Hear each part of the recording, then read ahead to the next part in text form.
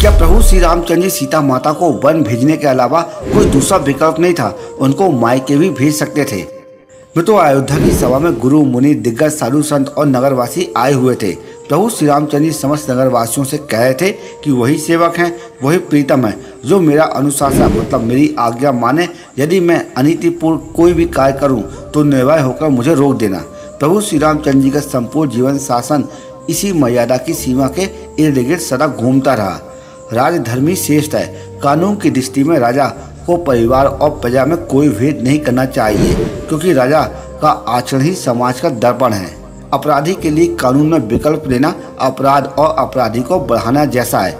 महाराज जनक रघुकुल की परंपरा प्रभु श्री रामचंद्र जी के स्वर और स्वभाव से परिचित थे कदापि जनक जी सीता जी को स्वीकार कर लेते और यह राजा का दुर्बल ही माना जाता। प्रजा में ये प्रचलित हो जाता कि प्रभु श्री रामचंद्र जी लोकापात से बचने के लिए अपनी भार्या को मायके भेज दिया है। मैं तो माता सीता और राम में कोई भेद नहीं है। सीता इस लोकापात के पीछे अपने को दोषी मानती हैं और जन्म जन्मांतर तक राम को पति के रूप में वर्णन करना चाहती हैं और यही प्रेम की प्रतिष्ठा है।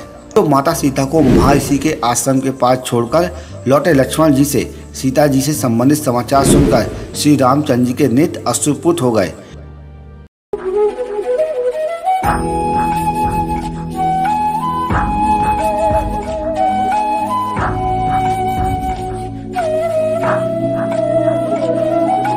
Bye.